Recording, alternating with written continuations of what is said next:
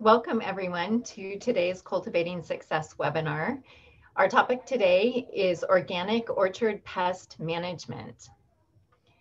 Cultivating Success was established in 2000 by University of Idaho Extension, Washington State University Food Systems Program, and the nonprofit organization Rural Roots. This is our fourth season of hosting a webinar series. If you're new to our webinars, just a couple of tips. We're all sharing a lot of bandwidth, so please close other programs running on your computer if you're having any trouble with sound or speed. You can also type into the chat box, which you'll find in the control bar at the bottom of your screen. And myself and Mackenzie Lawrence, my colleague, will help you with technical assistance. At any time during the presentation, you can type questions for Kyle, our speaker, into the Q&A box. So when you look at your control bar, there are two places that you can type. One is a Q&A box that helps us keep track of the questions that have come in, make sure that they can be answered. So we'd like your questions to go there if possible. And then the chat box, please use that for any type of technical assistance. This webinar is being recorded and a slide handout and the recording will be available tomorrow on the Cultivating Success website. So I want to introduce Kyle Nagy, who is the Superintendent and Orchard Operations Manager at University of Idaho Sandpoint Organic Agriculture Center. And he's located, of course, in beautiful Sandpoint on an amazing research and education facility that we have. So welcome, Kyle. Thank you for being here today. And I wanted to say we really appreciate your sharing information today about organic pest management. For those of you that haven't met me, I'm Colette DePhelps. I'm an area educator in community food systems, and I'm located on the Moscow campus. I'll be providing some technical support today and then facilitating the Q&A. So with that, I'm going to go ahead and hand the screen over to you, Kyle. All right.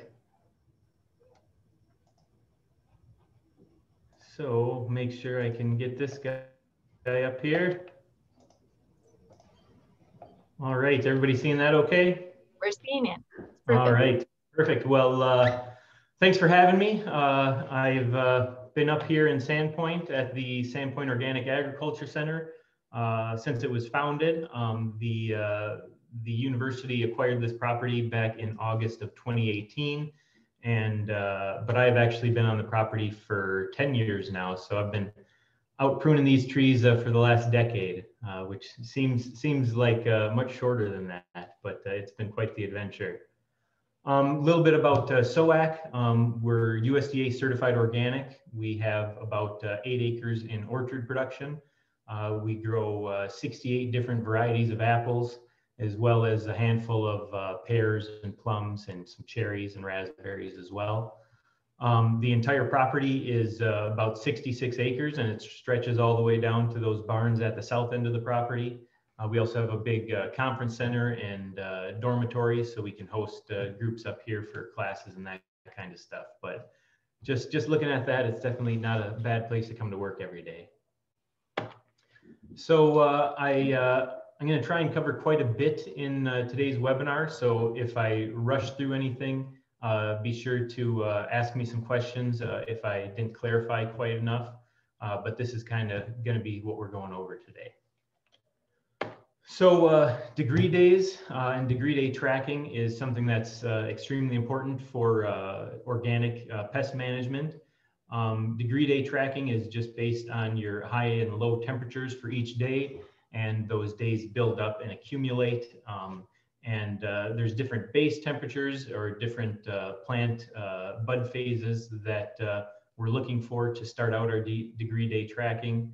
Um, but the, the key is that, uh, that whichever pest we're tracking, it's not making any physiological development below that base temperature or below that bud stage. Um, so that's kind of what we use to uh, determine when that uh, pest uh, or disease is most vulnerable to being uh, controlled, and uh, then we try and target it in that window. Um, and it, it's definitely quite a bit of work to, to do all the tracking and everything, but it really helps us do less spraying out in the orchard, which is a big thing for us. We, we try to be low spray as, as much as possible. Um, so bottom right diagram you can see is uh, that's that's the formula for uh, for degree day tracking, and uh, each pest or disease is going to have a, a, little bit different base temperatures and, and thresholds. Um, so that's something that you can find uh, for each individual uh, pest. Um, the the four pests at the bottoms are the ones that uh, that I track degree days for up here in Sandpoint. Um, it's uh, we actually just had a, a, uh, new weather station installed on site by uh, the university uh, last fall. So now we have some really accurate data to uh, to get this right. So I'm hoping to be able to uh, get that information out to others in this this Sandpoint area. But being that with all the different microclimates and everything, it's it's going to be a little bit different. So if you have the ability to track in your area, that's that's going to give you the best results. So this is just a very busy slide, but this uh, shows you kind of uh, what we're looking at uh, for the four uh, pests that I'm actively tracking with degree days. Um, different uh, have they have different start dates, or uh, the the codling moth and leaf rollers are based on biofix, which is when you're getting your first consistent trap of of of the the pest in your pheromone traps. And then off of that, it's uh, based on high and low base temperatures. And then uh, we have an idea based on those accumulating temperatures, um, how many degree days uh, before we are going to see their first flight or before you're going to hit the, the peak uh, infections period. So uh, that these are it's a lot of information on this page, and I'm thinking that uh, Colette is making these slides available. So if anybody wants to come back to this, you're certainly welcome to. So uh, bud stage is uh, is something, especially in apples, that uh, we're watching pretty closely uh, when it comes to um, to scab, especially um, the uh, green tips, the top right corner. When we see our first green tips out in the orchard, that's when we first start uh, recording our our temperatures for degree day tracking for apple scab. Um, other other reasons to know your bud stages, um, the leaf rollers uh, is uh, one that we're trying to control with uh, BT, um, and we're trying to get two to three applications of BT between this tight cluster phase number five and petal fall number eight. So it's uh, it's good to know your your bud stages to to be to know what you're on the lookout for. So uh, let's get into some uh, orchard insects pests. Um, we have some minor pests and some major pests, and I'm really just going to go over what I see on a regular basis out in our orchard. Uh, you're going to have different pest pressures in your area, so uh, if you have any questions uh, when we get to that section, uh, let me know, and if it's something I deal with, I might be able to provide some advice. So uh, for minor pests, uh, the pear slug, uh, the red hump caterpillar, and the earwigs are ones that we see pretty consistently every year, um, but none of them are uh, pests that we're overly concerned about. Uh, the pear slug, uh, picture down here at the bottom left, um, that's actually a sawfly larva, um, and that's one that we see on it mostly on pears. We've seen it a little bit on apples, but it seems that they prefer the pears and they do this uh, skeletonizing damage that you'll see there. Um, usually uh, they, they don't do a whole lot of damage to fruit.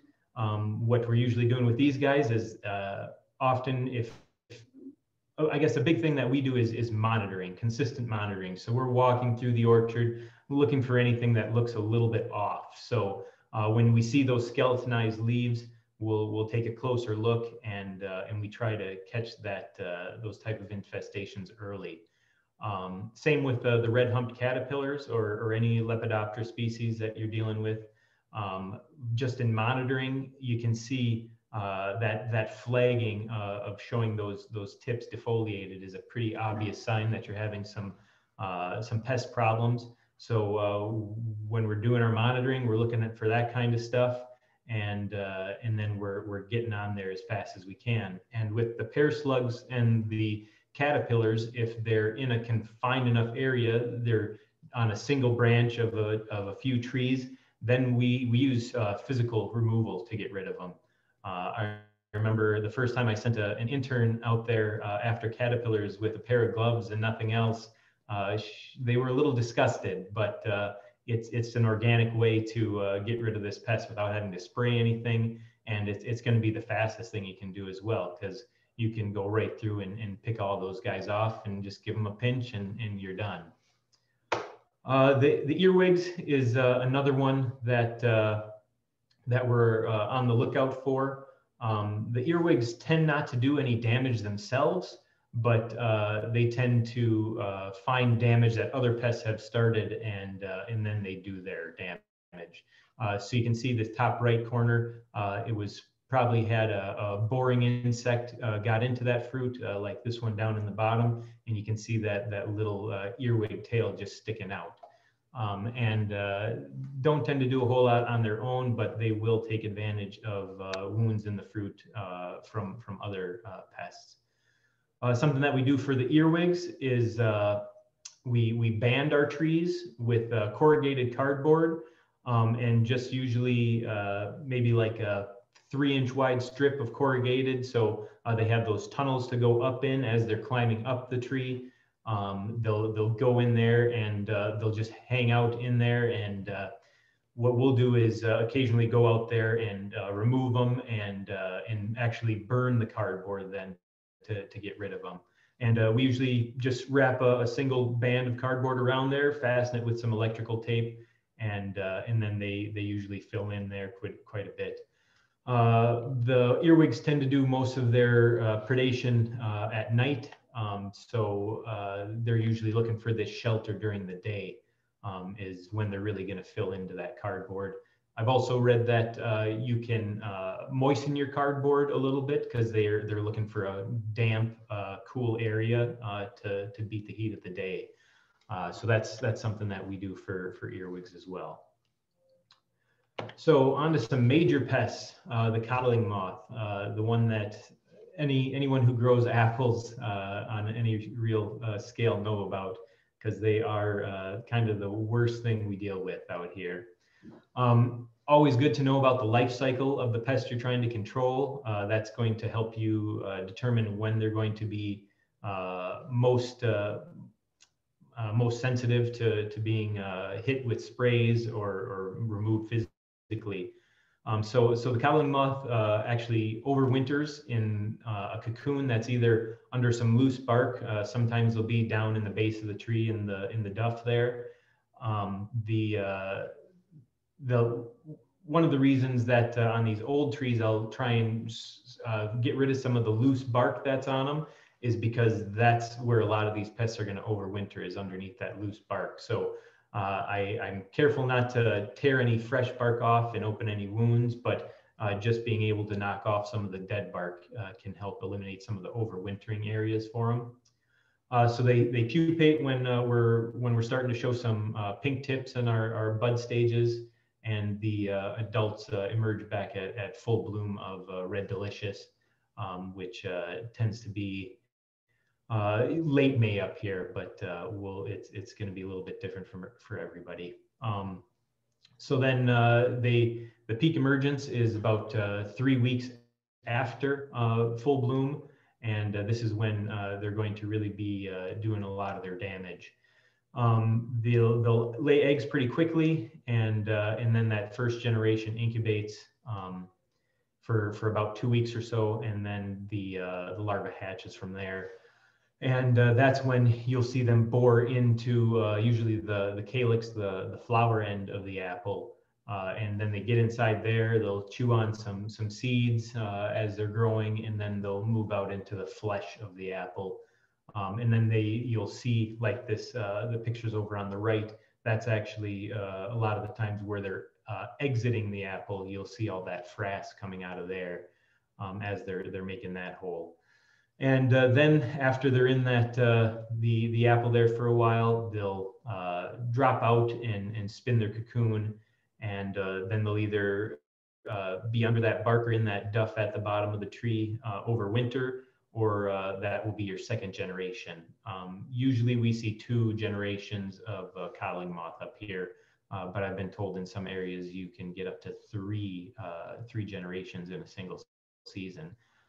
Um, so what we're doing for for codling moth is uh, we do some pheromone trapping, and that is uh, to get that biofix, which is a key uh, in in doing our degree day tracking. And then uh, for our degree day tracking, uh, we we watch that until we get to those that uh, area that it's it's making that trip from the from its from its pupa state going up into the apple. That's when we're trying to catch them. Um, so uh, mating disruption is is one of our uh, one of the big things that we use for codling moth control, and uh, it doesn't work uh, especially well in uh, in a small orchard, but it's something that's uh, gaining a lot of popularity and and having really good good results in large commercial orchards. Um, started out just as organic uh, organic production product, but now it's being used by uh, conventional uh, quite widely. Um, and the big thing with mating disruption uh, is you're trying to get them out in the field early and often. So you want them out there before you have any moths flying, and you want to have them out there pretty thick because um, the, the pheromone uh, is a, a, female pheromone that we're putting out there, and we end up putting one in, in almost every tree out in our orchard. Uh, and then uh, as that male is flying around in the evening looking for the female, uh, he's going to keep finding our uh, fake females. Uh, so you end up with some uh, sexually frustrated male moths out in the orchard. so, so that's one thing that we do for codling moth. And something else that we're going to be implementing this year is a Cyd-X, which is a, a granulosis virus spray that is that targets specifically the codling moth. Um, I've uh, haven't used this in the past, but it's something that's uh, been getting some good results. Uh, so we decided we'd give it a shot this year. Uh, another uh, major pest that we're dealing with is uh, the leaf roller. And these guys, we're usually looking at the pandemis or the oblique banded leaf roller. You get two generations a year up here. Um, they're another one that's going to overwinter in uh, the cracks and crevices in the bark uh, or around the edge of pruning scars. Um, they, they become active uh, during the bud break where they actually bore into the flower or the leaf bud uh, rather than the codling moth that's actually waiting for the fruit. Um, and then they, uh, the larvae grow and, and pupate mid-May.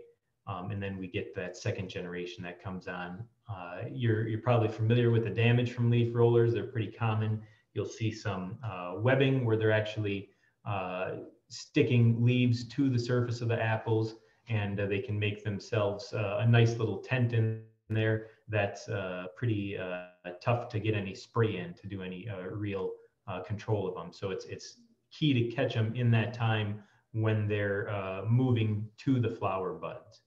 Uh, that that's uh, your your best chance to get them. So this is why we're we're doing that uh, two to three applications between tight cluster and petal drop phase. Uh, and that's that uh, BT bacillus. Um, and, and that seems to, to work pretty well. Um, it, it's not one that we ever see uh, a ton of damage with, uh, but it's something that if you had them in high numbers in your orchard, you could definitely see quite a bit of damage. Um, another one uh, is the Western cherry fruit fly, and this is uh, our, our, major pest for our cherries. We have uh, let's see, four different varieties of cherries out here. Uh, one of our favorites up here is the Lapins cherry. Uh, it's a Bing type variety that uh, actually originated in uh, British Columbia, so it does well in the Pacific Northwest up here. Uh, tends to be less prone to cracking than uh, than the Lappin or than the Bing cherries. Um, and and we've actually found that the the Bings seem to get a little more bird pressure uh, than uh, than the Lapins. The Lapins uh, cherries tend to be held a little closer to the branch where uh, they seem to be covered by the leaves a little bit longer than the Bing. So you get a little extra bird protection out of that. so the Western cherry fruit fly, you get one generation that's that's really growing quite a bit early June through your harvest period. Um, and uh, it's actually the the females that are coming and laying the eggs uh, just under the skin of the fruit uh, that are, are doing most of the damage. Uh, then the eggs hatch and feed around in there for a while. And then uh, they drop out uh, to the soil surface where they pupate in that duff and overwinter there. Um, the damage is is pretty evident uh, when when you see them and you you bite open and you see uh, half of a half of a uh, a fruit fly worm. You already tasted the good half of it. Um, so uh, monitoring is a, a, big thing that uh, we do for for the western cherry fruit fly. Uh, we use yellow sticky traps, and that's just to get an idea of how bad of an infestation we're going to have. See if their numbers are really high or if we're having a, a low year.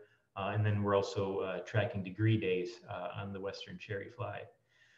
So uh, for spraying, we're using a spinosad product, uh, being certified organic. Uh, we're using a, a, product called Entrust, um, which has, has had good results for us. Um, we start tracking our degree days back on March 1st, but it's been pretty cool up here for us so far. So I think so far we've only accumulated like five degree days since the beginning of the month.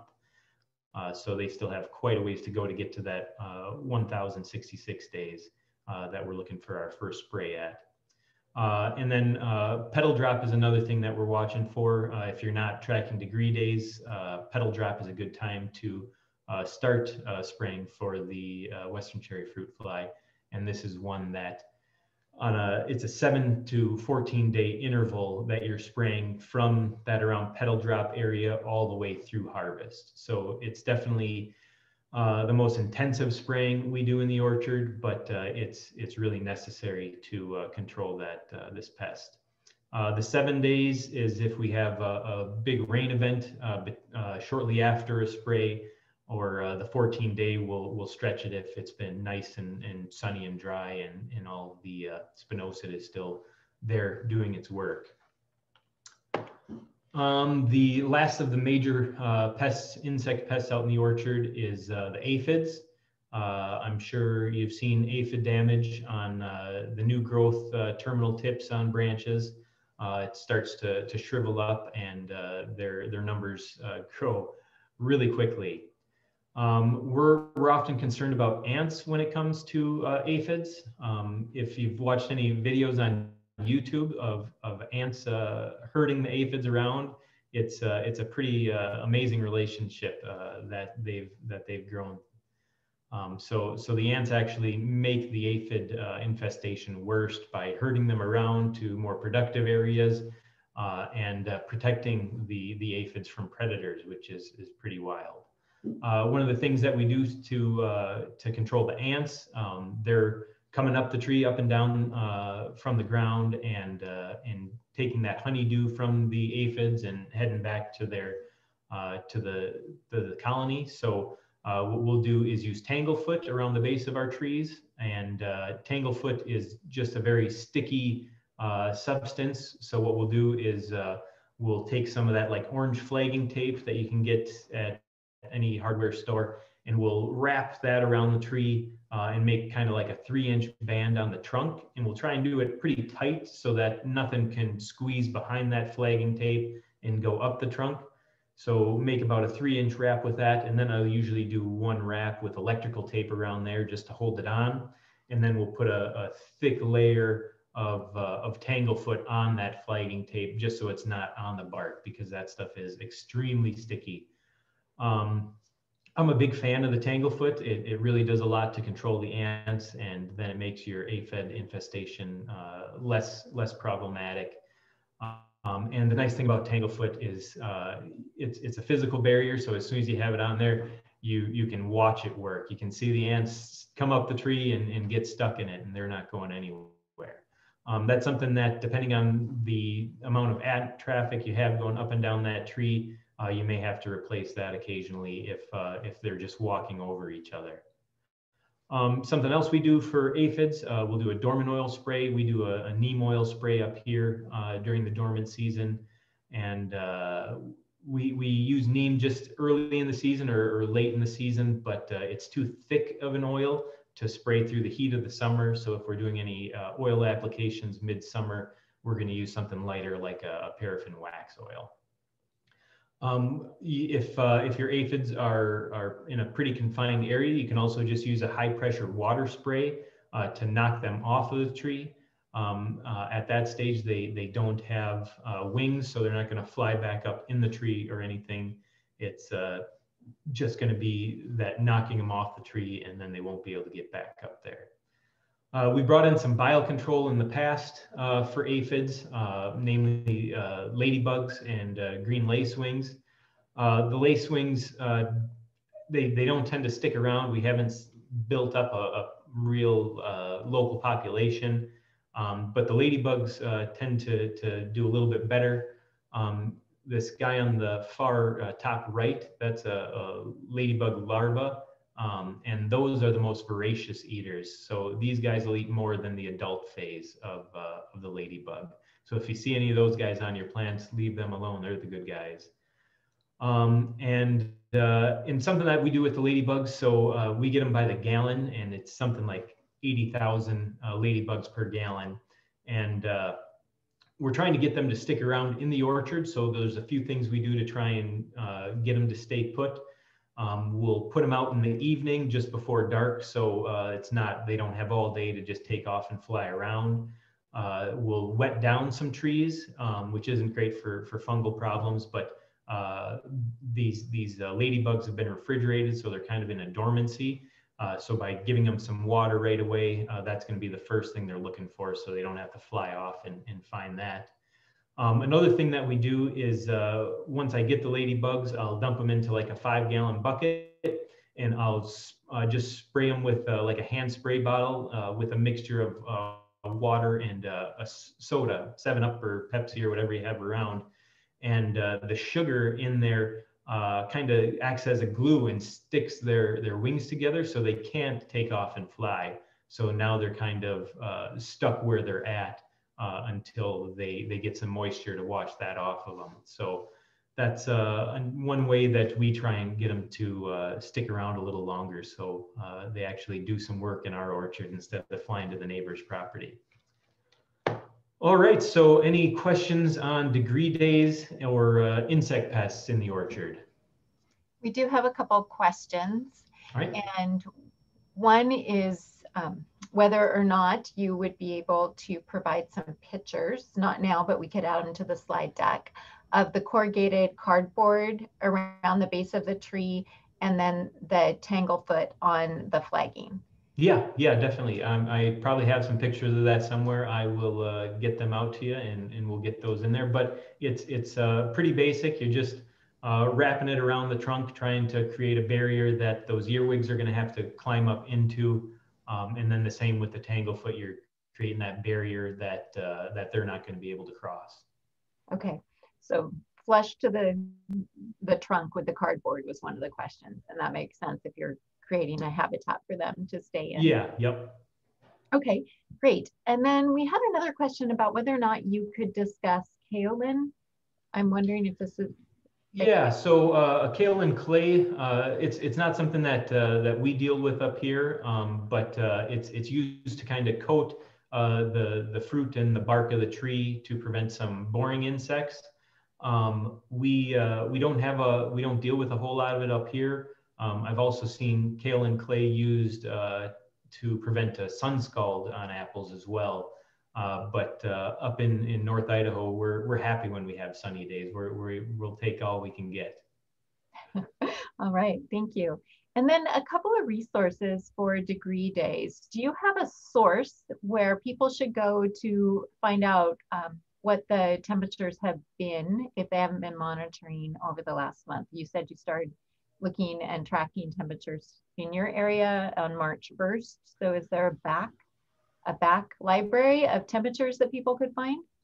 Um, there's, uh, it, it, might be worth looking uh, at, at your local extension office because they might have uh, the best idea of where the closest weather station is going to be. Um, but uh, we, uh, we've gotten some information from uh, the folks down on campus before for some degree day tracking. And then also um, WSU uh, is a, a, great resource for a lot of uh, true fruit or tree fruit uh, pest management questions and uh, and degree day tracking questions. Okay, great. And is that where the base temperature would be found then for different? Yeah, I think uh, they would have most of the base temperature information, um, and uh, but but that's something that that's widely available out there. Okay, great. We will look for some resources to add to the slide handout as well. All right, sounds good. Okay, great. So those are the questions that we have had come in. All right. Back to you. So next section is uh, minor and major disease pests. Um, so minor disease pests that we see out in the orchard, uh, powdery mildew uh, is is one we see, but it's it's not something that's ever uh, a, a big concern for us.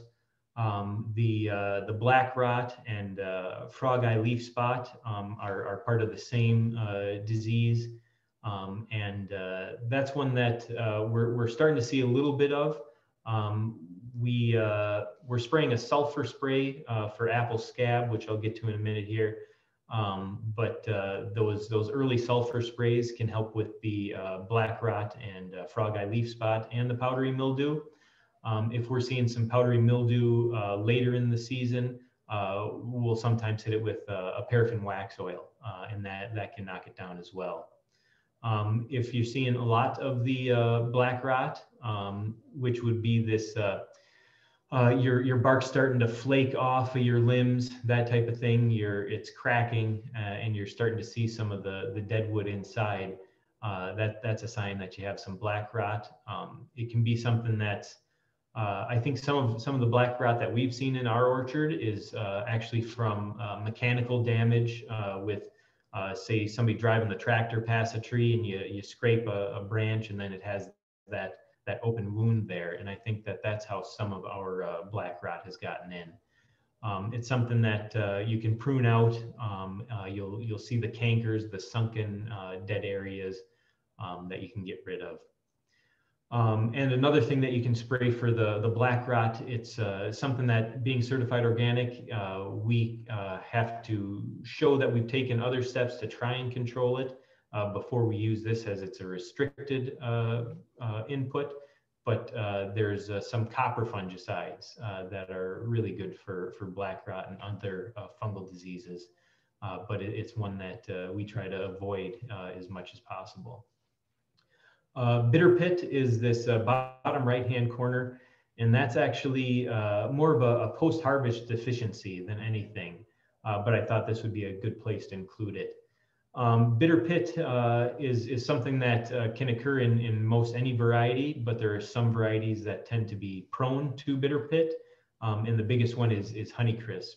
everybody loves the Honeycrisp. Um, and uh, it's it's a, a, great apple, but it's not the easiest apple to grow.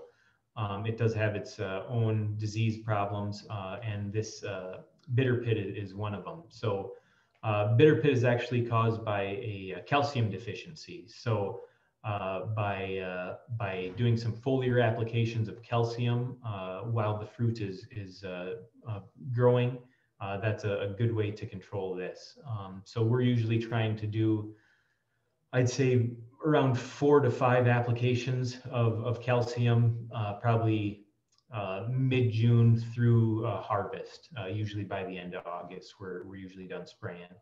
Um, but uh, by getting that foliar calcium on there, uh, it can definitely help um, alleviate that. So you don't have all these nice apples going into storage and then you go to pull them out and they're starting to look like this.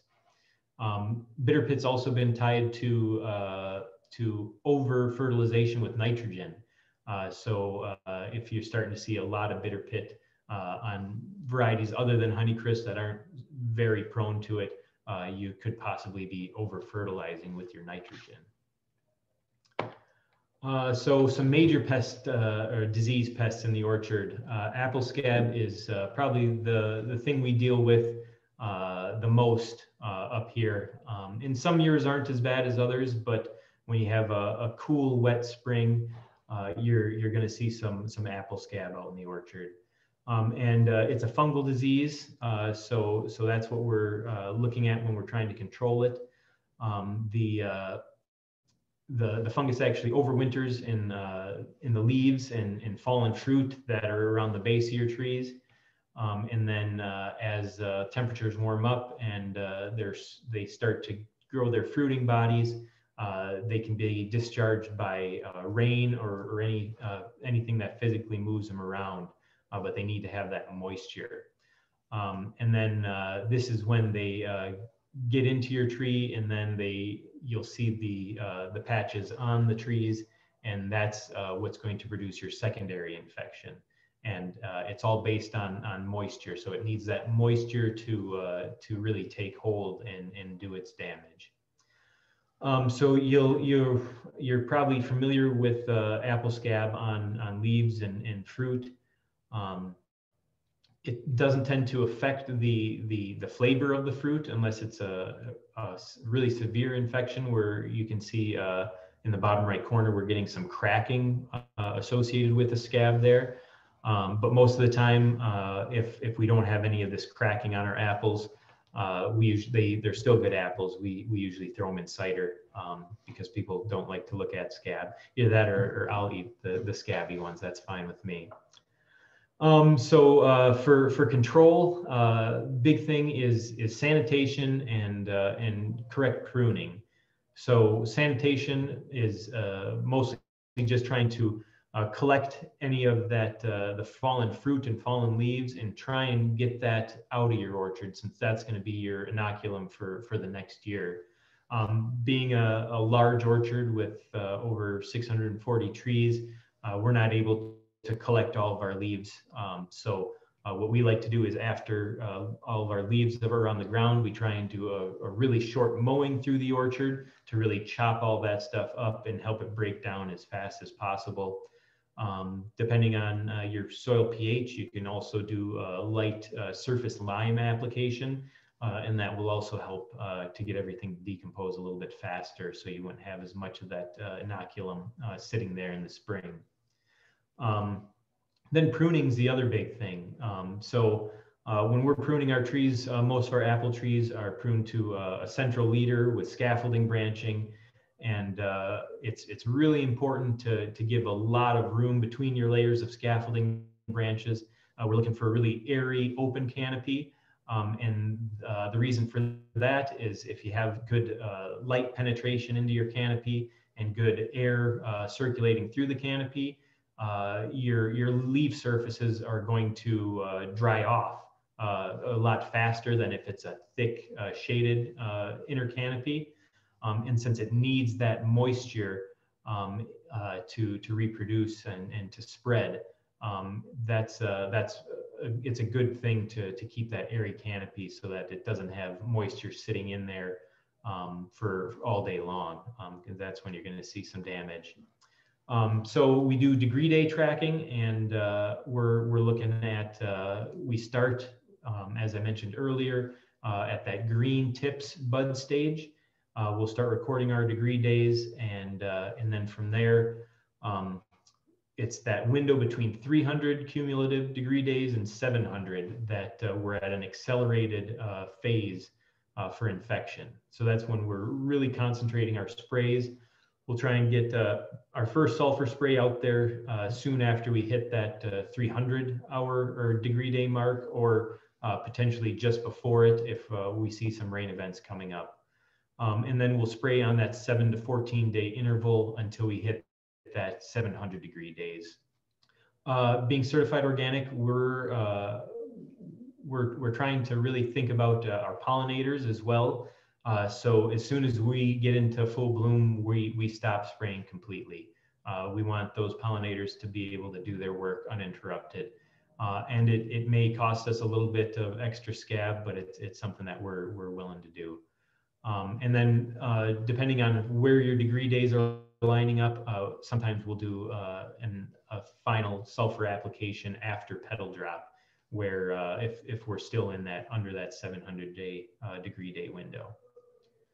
Um, and uh, we're using sulfur because the micronized sulfur specifically are the tiniest particles of sulfur you can get. And when you spray them in a solution, they get down into all the nooks and crannies in the bark uh, which is where that uh, the scab wants to take hold. Um, so by getting the sulfur down into those nooks and crannies uh, as the water evaporates, that sulfur is left there. So then next time you get a rain event where that little cranny is getting filled with water, that sulfur is affecting the pH of the water. And that makes it so that uh, the, the scab uh, fungus can't, can't actively reproduce and spread. The other uh, big uh, orchard disease pest we're looking at is, is fire blight. And uh, this is one that's uh, really scary in a certified organic setting. Uh, there's not a whole lot of, of, of, sprays that we can use that, uh, that are allowed for organic production. We do have one product that we keep on hand in case we need it, but we haven't had to use it yet and that is a, a product called uh, Serenade. Um, but uh, yeah, it's it's uh, something that we we haven't had to use yet, um, but uh, it's it's something that we want to have in case we need it. So uh, the uh, fire blight is a bacterial disease, and it'll overwinter at the edge of cankers, those sunken dying areas on the branches, and once it warms up, they'll begin to ooze this, uh, this usually clear to amber bacterial ooze. Um, and then this uh, bacterial ooze can then be spread uh, by, by raindrops splashing it or uh, by insects landing on it and then going and visiting other trees, other flowers, that type of thing. Um, and, uh, and fire blight actually has the ability to stay dormant in your orchard um, until uh, the conditions are just right for it to, uh, to take hold and, and really cause some damage. So again, uh, monitoring is a big thing out in the orchard. Um, what we're looking for, this top right corner is, uh, is a telltale sign of fire blight. That's called the, the shepherd's crook. Um, and, uh, and that's something that we're, we're really on the lookout for. Um, you can also have it where it'll just uh, infect the, the blossoms, uh, where you'll see the, the blossoms or the, the fruit set will actually shrivel up and turn black. Um, and uh, the worst thing you would see is, uh, is a, a scorched tree, as you see in the bottom right, where you have uh, a lot of uh, infection in there. In the larger main scaffolding limbs and even getting into the trunk. So uh, for fire blight, uh, one of the best things you can do is, is look for resistant varieties um, because that's uh, going to be your best bet to avoid fire blight overall. Um, some off the top of my head, uh, Freedom is a, a, good one that's uh, very resistant. Um, I believe McIntosh, uh, Enterprise, Empire are all good resistant varieties. Um, and maybe more important than looking for the least or, or most resistant variety is uh, look at which varieties are the most prone to the infection and to try and avoid those varieties. Um, there's it's similar to to degree day tracking. There's uh, some predictive models uh, that are have uh, come out for fire blight. WSU has I think it's uh, Cougar Blight uh, is, is the name of their program for, for tracking uh, uh the fire blight. Uh, and it has a lot to do with uh, leaf wetness and high and low temperatures. So they're, what they're doing is after a rain event, they're actually monitoring their leaves to see how long those leaves have moisture on them, because that's a, a, way of determining the probability of infection. Um, so you can definitely look up their uh, model uh, for prediction. Uh, it's one that you, I don't even think you need to have a, a computer to do it. You can do it by hand. Um, I haven't gotten into that yet, uh, but we haven't had uh, fire blight be a big problem here. Um, we've had, uh, we had one tree really in the middle of our orchard that we saw it on early, um, but it was fairly low on a scaffolding branch. Uh, so uh, we, we tried to prune it out, uh, but we were unable to. Uh, so we actually removed the tree just to just to get rid of that inoculum because we do not want to risk uh, having fire blight run through the orchard up here. Uh, so this is another one that that over fertilization with nitrogen can cause or can be part of what contributes to fire blight. Um, sanitation is a big thing um, with with pruning or, or, anything that you're doing out in the orchard. We're always sanitizing our tools uh, between trees so that uh, we're not spreading disease from one tree to the next that we're moving to down the line. Um, we we like to use a, a rubbing alcohol as uh, as our sanitizer. Um, we usually use uh, the the like 99% and diluted to around uh, like 75% or so and that seems to work well. Um, uh, you can also use uh, Lysol or Pine Sol are supposed to be good for, for sanitizing uh, pruning tools, uh, but try to avoid using bleach uh, as bleach is really hard on tools. It causes pitting in metal, uh, which just makes it harder to clean and more places for, for disease to, to hold. And then you're, you're spreading it to your next tree there. And then also uh, debris in the orchard. We try and get rid of all of our big pruning uh, or anything that uh, if we if we saw some fire blight and we pruned it out, we get rid of that immediately and try and uh, burn it as, as fast as possible or, or get it off site to an area that it's not going to be uh, causing other people headaches as well. Um, and uh, I had mentioned trying to prune out the infection. Um, that's something that's definitely possible uh, with the shoot blight or uh, the blossom blight, but it's uh, much more difficult when you get it into the structural limbs and the trunk of the tree. Uh, what we're usually trying to do is uh, we look for the lowest point of infection on a, a limb, and we're trying we cut back a foot below that. just to try and make sure that we're that it's not spread any further past that. Uh, and then we're also uh, looking at uh, the color of the wood when we clip it down there. If it's uh, like a dark, kind of uh, wet looking brown, um, that's a sign that infection is already to that point, and then we'll try and prune out further to get rid of that. So I think that's all I have for uh, disease and pests, or for disease pests. let's see what we have for questions. Okay, great. So a few questions. Um, one is, could you say again the name of the product which may be used for fire blight? For fire blight, um, it's a product called uh, Serenade Optimum. Serenade Optimum. It's a, a Bayer product, um, and I, I, can't think of the uh, active ingredient out, off the top of my head.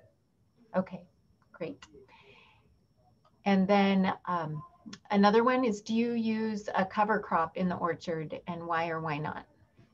So uh, cover crop is, is, something I'll actually discuss that in, in the last section here when we're talking about uh, vertebrates. Uh, but yeah, uh, ground cover plays a, a huge uh, role in, in your orchard for sure. Okay, great, thanks. Um, do you have any tips for staying ahead of locusts in the orchard? You know, that's that's not something we've ever dealt with up here. Um, so I'm I'm not sure what what would be the best bet for that. Uh, sorry, I, I, can't be of help on that one. Yeah, maybe contacting Parma. We could put the contact information for the Parma research. yeah, yeah. Essie Fallahi down there in Parma is is he, he's a, a wealth of knowledge. I'm sure he would have something for you. Okay, we'll put that into the link. A great a great connection for our Southern Idaho or more Definitely. participants. Okay, a question about pine sol. Um, if you're using pine sol, would you use it at 100% to disinfect without dilution? Yeah, so the, the what I've seen is pine sol and Lysol are being used at 100%, and uh, and they have a very high uh, or, or they very low infection rate when they're being used. Uh, I've been told that Lysol is bad because then you smell like Band-Aids all day though. okay. And what varieties do you know of that are prone to fire blight? Oh, shoot. Um, off the top of my head, um, I know uh, Grimes Golden is, is supposed to be pretty uh, prone. Um, shoot, was it, uh, I think, Spigold which is uh, a Northern Spy cross with a Golden Delicious. Um, I know the Spigold is prone, so I, I would guess that uh, the Golden Delicious and Northern Spy would also be prone. Uh, but there's there's definitely uh, if you just did a, a search of uh, of uh, fire blight resistant trees, or uh, I'm sure you'd get a, a, list that would give you a, a, lot of options. Great, thank you. And is fire blight something that you'll see in multiple kinds of fruit trees or is it confined to specific species? Uh, apple and pear are, are, are, the ones we're really watching. Um, uh, and, and pear, uh, I think pear, it's, it's the Bartlett that's uh, extremely prone uh, to fire blight. So uh, I've read that you're not supposed to plant a Bartlett within 100 yards of, of your other pears, just in case that Bartlett does get it. It's not spreading it to your others. Yeah. I've seen uh, that at the WSU Organic Farm in their orchard, they're having some challenges with fire blight. Yeah, it, it's a tough one and just not much in organics you can use for it. Yeah, lots of pruning. And yes, yeah, hard um, pruning. Right. And so I'm I'm guessing because you mentioned burning the the prune the clippings from the pruning that you'll need to be careful about those if you're going to dispose of them in a way other than burning in terms of yeah yeah for sure. Um, we we all we have a, a, burn site here on on site and uh, and we usually try and do a, a big burn in the spring. So uh, we usually time that for right after we're done pruning so we're able to get rid of any of that uh, disease uh, or pest inoculum that that are in our prunings there right. So if you're doing on-farm composting, you definitely need to be making sure that you're monitoring the temperatures so that you're actually killing that bacteria that you're monitoring your piles. Otherwise, the kind of stack and let sit is not a good option. Correct. Yeah. Yeah. We try and try and get rid of that pretty quick. Okay, great. And then one last question. Do you know what causes black trunk on a live cherry tree? Uh, I, am not sure. I, I, would assume that it's, it's going to be uh, a, a, a, fungus similar to uh, the, the black rot that we see in apples and pear trees. Um, so my guess would be it would be a, a, or a sulfur or a copper spray uh, is going to be your best bet for controlling that. Yeah. I think that would be another good option to contact Parma, the Parma yeah. Research and Extension Station about cherries because a lot of cherries are grown in that Emmett area. So they'll be able to help you diagnose. Okay, those are all the questions that have come in. Thank you. All right. So moving on to the last section here. Uh, it's uh, our, our vertebrate press. Uh, they're, they're some of the hardest to deal with and some of the easiest to deal with. Uh, the, the deer family uh, is, is going to do damage if you give them the opportunity. Uh, so uh, if you're investing in fruit trees, I, I would if I, I would hope uh, to invest in a fence to to keep those guys out of there. Um, but uh, you can also just do individual cages around trees, um, and and that'll help. Um, the the the bigger the bigger guys, the moose and the elk, as you can see in this top right picture, it's not just rubbing on trees that that's causing them damage. Um, they actually gnaw off the uh, the living cambial layer of the bark. Um, we actually just did a, uh, a webinar uh, with a uh, an orchard manager in Stehekin, uh, Washington. Uh, it's an old Buckner, the Buckner Orchard in the North Cascades National Park, and she has a lot of damage like this from elk and she's doing all types of creative grafting to uh, to try and preserve some of those old trees. I think that orchard was planted in the 1920s, so lot, lots of history in that one. Um, so yeah, big thing with with the deer family is is exclusion. Just try and keep them away from your trees as, as best as possible. Uh, birds are, are a difficult one to deal with. Um, mostly worried about uh, your your soft fruits, your cherries, or if you have uh, other berries, raspberries, that kind of thing. Uh, the birds are a tough one. Uh, we've uh, tried several different types of, of netting systems.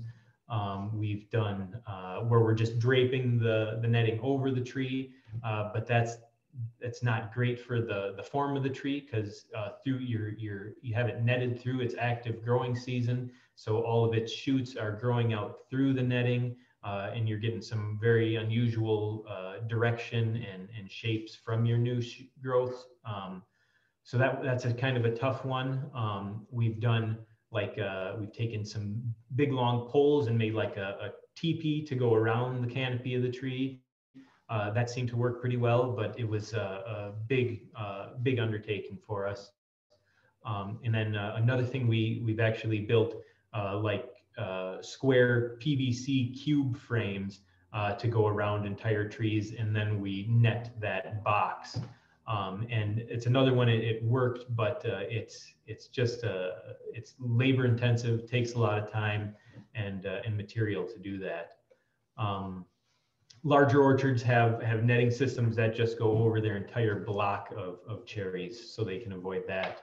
Um, there's also uh, orchards that use uh, like uh, air cannons to to just make noise to spook the animal or the birds. I've seen there's a, a new system out that uses lasers to to target birds to deter them um, so there's there's all kinds of stuff out there, but it, it is a, a tough one for for a, a, small producer home orchard to uh, to keep those birds out of your cherry trees. Um, but but whatever you can do with netting uh, is going to be better than nothing for sure. And then uh, large rodents is uh, is another one that uh, we don't deal with too much. We have a, a pretty secure fence up here. Uh, but uh, the the rabbits, you can see this damage in the bottom right is is either a rabbit or possibly a, a porcupine. Uh, they tend to do that type of damage up under the branches as well uh, when the snow gets high enough that they can reach up there easily. Um, uh, beavers, if, if you have a beaver problem, you might want to look at something other than apple trees to plant because that young tender tree is is a perfect uh, dessert for them after they've been gnawing on a big hardwood. Um, so then uh, some of our major pests uh, for vertebrates um, are the biggest thing we deal with is, is voles. Uh, meadow voles is what we have up here. Um, I, I, this picture in the top right makes them look so nice and innocent, but they are not. They will do a lot of damage to a lot of young trees. Um, so the damage uh, that you're used to seeing in your yard, those those trails where they're burrowing just along the uh, kind of the soil snow interface, uh, those those are voles doing that kind of damage. Um, and that that doesn't bother me so much. It's uh, when they do this damage in the bottom right corner that uh, that I'm I'm plotting against them. Um, so uh, the voles, uh, they're uh, pretty short-lived, but they produce or reproduce like crazy. So uh, the the entire lifespan is just three to six months, but the females become sexually mature in less than two weeks, and then their gestation period can be less than two weeks or around two weeks. So you're you're looking at uh, any female out of a litter is ready to have her own litter in about a month which the numbers can just explode. Um, at uh, at eight or five to eight voles per litter, and a female having two to five litters in less than six months, uh, you can just see how those numbers just grow exponentially. Um, so it's it's a tough one for us to control. Uh, being certified organic, we can't use any uh, baits or poisons, um, so that's a, a, really tough thing for us. Um, we do some mechanical trapping. Uh, there's the uh, pincher style, uh, like gopher type traps, uh, they work pretty well for them. Um, but, but it does take some time to figure out how to uh, trap these guys well. Um, what we're usually doing is, uh, is we're looking for a, a new, uh, like a new tunnel entrance, and then we are usually using a, a metal prod to find, to prod the soil around that hole to figure out where their active tunnel is and then we'll excavate that tunnel uh, and hopefully we will be seeing a tunnel going in both directions so that we can put a trap going in each direction on that uh, trail, uh, that, that tunnel. And, uh, and then from there, uh, we try and cover it up with a piece of plywood or something just uh, so that they don't see any light coming in there um, because they're going to know something's up if, if they're seeing some light getting down into their, their, their tunnel system. And uh, some some of the things that we use um, for for controls in our orchard, uh, hardware cloth is a big one. So uh, if you're familiar with hardware cloth, it's uh, it's uh, mesh uh, galvanized mesh netting that's you can get in quarter inch or eighth inch grid. Um, I tend to like the eighth inch grid. It's quite a bit more pliable, where you can squeeze it right trunk or tight on the trunk. Um, you don't want to have it loosely just wrapped around the, the trunk because they'll climb right up behind there and do all their damage inside there. So uh, you have to have it pretty tight to the trunk. Uh, we're mostly worried about this damage uh, occurring uh, late fall through early spring. Uh, so uh, late fall, what we'll do is go around and, and squeeze all the, the that hardware cloth tight to the trunks and then in the spring, uh, after we've done our pruning and everything, we'll go through and we'll loosen that up just so we're not restricting growth of the trunk there. Um, ground covers was a, question we had uh, during the last uh, little session there. And uh, ground cover is, uh, is going to play a huge role, uh, especially with your vertebrate pests. Um, so they they tend to uh, they they don't like being out in the open. They're they're the prey species of, a lot of different predators, so they like being hidden as much as possible. So by keeping a ground cover that's short, uh, that they're not going to be able to hide in, is is a, a big thing as well. Um, something that we do at the base of all of our trees is uh, we'll uh, get rid of our, our ground covers under there and we'll actually put in uh, about a, a, three foot diameter ring of uh, pea gravel around the base of the trees. Um, and this does a few different things. Uh, first, it's easy to pull any annual weeds that come up uh, out of that uh, the pea gravel because it's so loose. Um, having it so that uh, there's there's a, a, open area around the base of the tree uh, makes an area that voles don't want to hang out. They, they like being protected. So if you have a bunch of tall grass around the base of your trees, that's when you're going to see uh, some vole damage in there. Uh, and then the other thing uh, it can help with is uh, these voles, uh, their tunnels are, are pretty close to the surface. They tend to only be like two to three inches below the soil surface. So by having about three inches or so of pea gravel around the base of the trees, uh, they can burrow to that, but as soon as they try, burrow, try burrowing into it, it's collapsing on them. So they can't have established trails going right to the trunk of that tree. Um, so, so that's a couple of the things that, uh, or a couple of the things we do around the base of the trees for uh, uh to, to prevent a lot of feeding. Um, another thing we do is we try to encourage uh, predators to, to get in there. we have a bunch of large perches uh, for raptors out in the orchard. Um, and uh, as the snow is thawing now, uh, we're looking at the base of these uh, tall raptor poles and there's uh, owl pellets speckled all around the base of it. So it, it's cool to see that uh, the predators are actually using it. we see quite a bit of red-tailed hawks hanging out there during the day as well. And we've seen them take, take some of these pests as well, which is nice. Um, also, uh, we, we tried recruiting uh, some barn cats to live out in our orchard, uh, but uh, they, they didn't stick around. So, uh, so we're, we're hoping to find a, a good resident mouser, uh, but it sounds like getting a, a, good mouser is, is tough to come by. So, so hopefully we'll, we'll get a good mouser out here eventually. And then pocket gophers. This is the other major vertebrate pest that we deal with out in the orchard.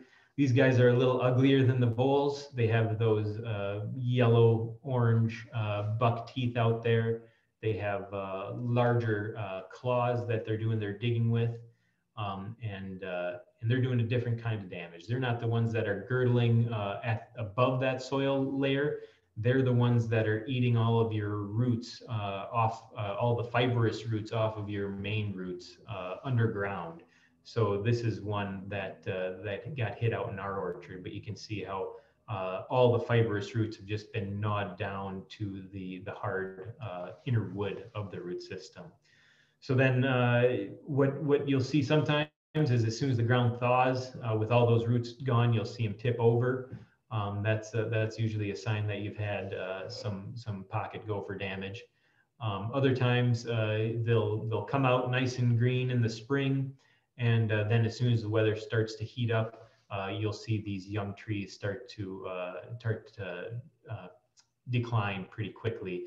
And that's because they had enough uh, energy reserved in their root system and trunk for that initial burst, but then they're trying to keep up with uh, with the the evaporation and respiration, and the root system just isn't there to support the whole tree. So you'll see those guys decline usually when it starts to heat up a little bit.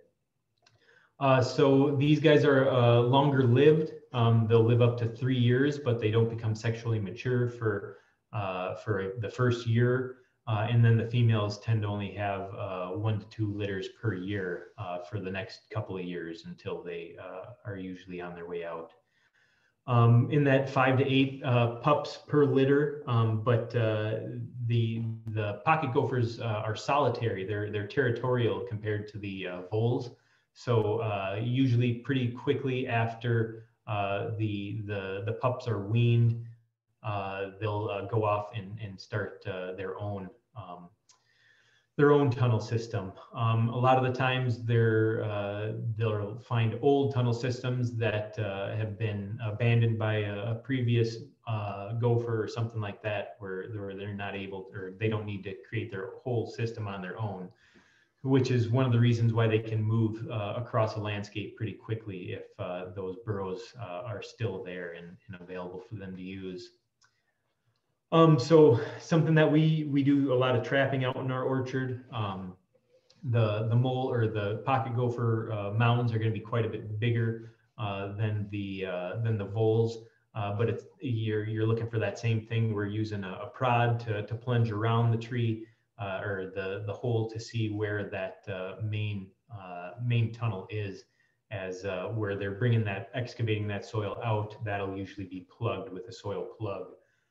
Um, and then same thing, we're trying to set traps in both directions and uh, then cover it up so we're not letting any light down in there. Um, some people have used underground barriers where they're actually uh, digging in a, a fence uh, underground of, of, mesh around their young trees. Um, this might be reasonable on a, a, small scale if you're just doing a few trees, but on a large scale, that, that just isn't something that's feasible. Um, so uh, we're, we're mostly using trapping or, or cultural practices, and uh, this is similar to the voles where we're trying to keep our ground cover low, uh, especially close by the trees. Um, it, it's kind of a delicate balance. Uh, we're, we have a, a mixed legume uh, ground cover in our orchard that has various types of uh, clovers and vetch and, and some alfalfa in it. Um, but uh, we're, we're trying to get the, the uh, nitrogen fixation out of those, but it's also uh, one of uh, the, the voles and gophers' uh, favorite treats. So we try and keep that tall growth uh, near the middle of our aisles away from our tree rows. Um, but I think what we'd like to do is do some trials in the orchard where some rows are converted to just a short fescue of some kind uh, just to see if uh, if that really helps with uh, deterring uh, the, the pocket gophers and vole population. So I think that's all I have on vertebrate press. Do we have any questions on those? We just had a couple of questions that came in. One was how high up on the trunk do you place the hardware cloth? So uh, when we started doing this, uh, we were using uh, 36 inch hardware cloth and we would cut it in half. So we would be doing 18 inches up the trunk and we'll try and uh, settle that down uh, into the soil a little bit right at the root crown. Uh, but when we had that 18 inches up there, we had a winter where we had 24 inches of snow out there most of the year and it turns out these voles would climb right up the hardware cloth and they girdled a few trees 18 inches off the ground. Uh, so since then we've moved to uh, 24 inches of hardware cloth, um, but uh, that's not to say when we have 30 inches of snow, they're not going to climb right up above that. So we're just hoping they're afraid of heights. All right, thanks. And then uh, one additional question, is human scent an issue for mechanical trapping? Um, it, it, we, we don't go overboard or boil our traps or anything like that. Um, you might have better uh, success if, if you do, but it's just not something that we undertake. I, I know with, uh, with traditional trapping, uh, like hunting trapping, uh, they're always doing a lot to control the scent. Uh, but it, it, uh, it seems like we, we still catch quite a bit of them even without doing any of that. Great, thank you those are all the questions that we had. Cool. Well, I think uh, unless there were any other questions on anything else, I think that was all I had. Okay, great. We'll make sure to put the WSU and um, the U of I websites into your slide deck, and we'll add those couple of other pictures when you send them to us so everybody can find those in the handout that will be posted on the Cultivating Success website. So I'm going to just share a couple of last slides. And thank you again, Kyle, for that presentation. It was really great. There is an evaluation of today's webinar that we would appreciate your feedback. It will Um, it will appear automatically in your browser at the end of this webinar. You will also get a reminder tomorrow. Please let us know um, what you learned and how you might use that information, as well as letting us know what other information would you like to have. As you can see, we have all of our webinars on the Cultivating Success website at recorded webinars. Upcoming webinars, we have one additional pest management webinar this month, and that's going to be March 30th, next Tuesday on white rot in garlic. And then our April theme is going to transition into looking again at marketing, where we'll be looking at using Open Food Marketplace, designing your farmer's market booth, and then moving into looking at some digital information and land access. So thank you again, Kyle, for being our presenter today for our participants, for uh, participating in today's webinar, and for your questions. We look forward to having you on another Cultivating Success webinar in the future. Have a really great day. Thanks for having me. Goodbye, everyone.